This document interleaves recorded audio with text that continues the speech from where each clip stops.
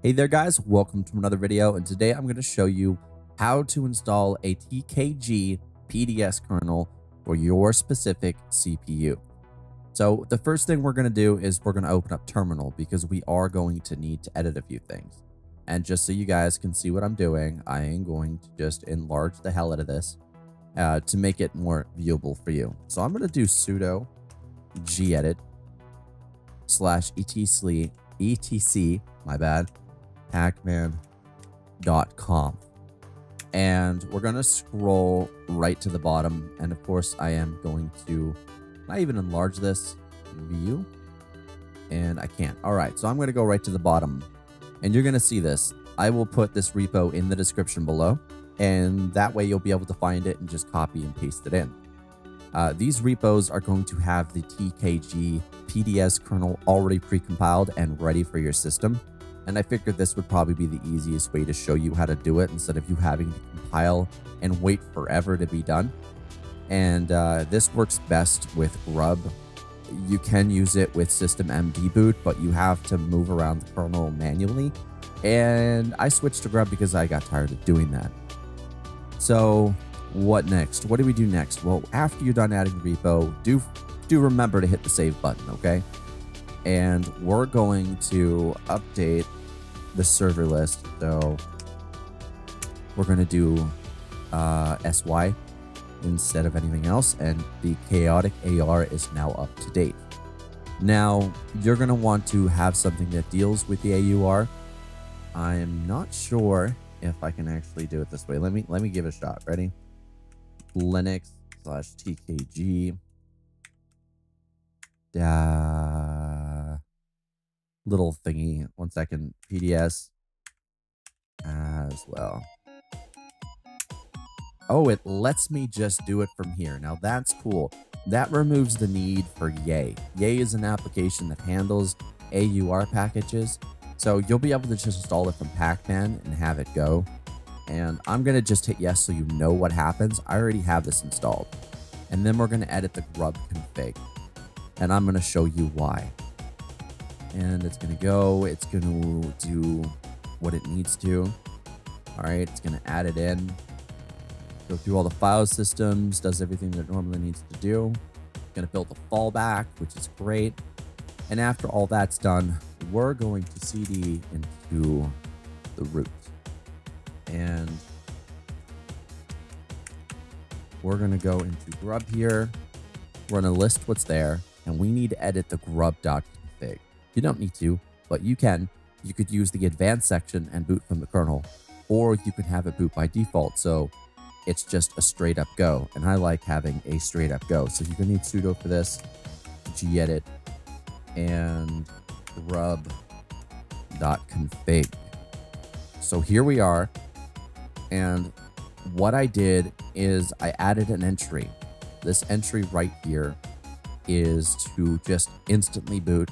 This is my first kernel select. So when the bootloader comes up and you hit enter or you just let it go automatically, it's good to go. All right. And I have a submenu also in advanced for it. And of course, I also have my fallback just in case I need that. So everything is set up the way it needs to be. So this is what you'll normally get. This menu entry and all of this will be up here. But I just copied it and I edited it. And we're going to actually do that in a new window. So here's what I did. Ah, this is going to be fun. So dot .tkg, I'm sorry, I keep saying key, my bad. And uh, it's not dot, it's actually that. PDS as well. All right. Now you're not going to be using the Haswell kernel if you don't have Haswell. But after this, you can just sort of copy this and you can sort of just paste it along. So right here, we're going to paste that. And as for right here, well, we're going to paste that. And then, then you're done in that point, right? And then you got the fallback. So with the fallback, I don't remember what I did for the fallback, but I did open up a new window. Fallback's kind of different. So Linux So I have to put it before Linux. Got it. So again, um, fallback, done, and uh, loading Linux, paste it in there, and we're gonna just copy over this, and we're gonna hit paste, because that way it just oh doesn't do what it's supposed to do. Okay, so right here, and then hit paste. Yeah, that looks correct. All right. So we have the initial RAM disk, and that's done. Uh, the kernel is done. That's done. Great. And that's it. We're finished with that entry. So as I told you, you want to move this new entry up to the top above those original entries. And that way, your first kernel that you'll boot is the PDS kernel. And uh, now we have to talk about NVIDIA in case you have NVIDIA. And that's not really something I like doing. So we're just going to stop all of that and what I am going to do is we're going to install an NVIDIA driver, one meant for custom kernels. So it's NVIDIA uh, DKMS. And that's going to install the driver you need to be able to boot this custom kernel. The only thing you have to replace. And after that, what we're going to need to do is initiate the grub rebuild command. So let me just grab that command and we'll be right back. So as soup, that means root. You're going to paste in this command, which is just going to go and rebuild everything. So it's found the Haswell kernel. Uh, it's found my original kernel. Uh, it's got both entries and you're good to go. Anyway, guys, I hope you did enjoy the video. Um, I, I got the audio from my mic sounding okay on Linux. I hope it's suitable. I hope you heard everything I said.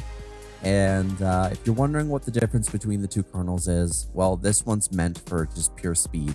Uh, it helps in gaming. It helps you when you have Cemu and NVIDIA. Uh, it even helps in Yuzu to get better performance. I mean, I can jump over uh, to Discord here real quick and I can show you two images if need be, okay? These two images are going to be simple. One is going to be from Windows, and the FPS at the bottom is 42. Now, the jump isn't that much because I was using Vulkan, and if you know anything about Vulkan, OpenGL performs better FPS-wise than Vulkan does, so I lost a little bit, but I did gain nonetheless, and we're at 47 FPS. When you're playing a game like Smash, any gain in FPS is good enough. When we're using OpenGL, I will have 50 FPS. Not all the time, but it's good enough that it's a speedy gameplay. So you'll get better FPS in games, you'll get better FPS in emulators. It makes Ryujinx usable for NVIDIA users on Linux, and you will have a much better time.